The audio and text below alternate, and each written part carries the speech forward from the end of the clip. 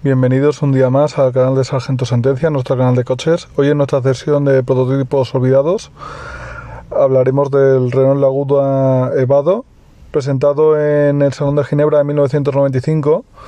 Un Renault quería presentar cómo podía ser la futura generación de su nuevo y recién llegado Laguna en variante Wagon.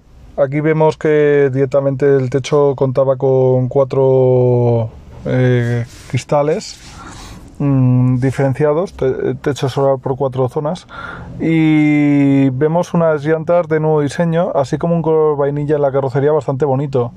Sus molduras también son de un color más acertado, más tirando a marronado y daba una visión de cómo podía ser el modelo restilizado del Laguna que llegaría en 1998.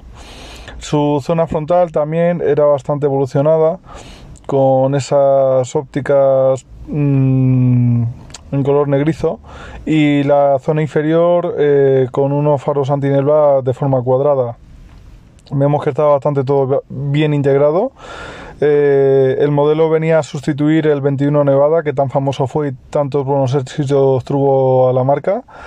Y debemos de decir que esto, este vehículo fue pensado tanto para llevar motores diésel como para llevar mecánicas hasta V6, 3000 V6 que es el famoso PRV que ya llevaba el modelo de Laguna. Eh, no así, eh, sí que es verdad que el modelo de producción pues se quedó estancado en algunas motorizaciones.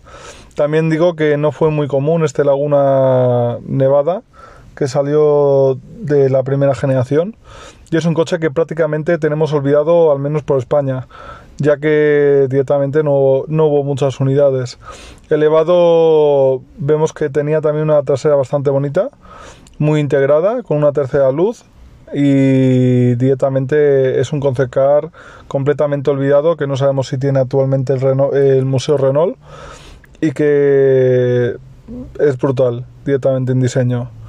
Con esto espero que os haya gustado este breve vídeo y nos vemos en el próximo. Dar un buen like y suscribiros. Un saludo.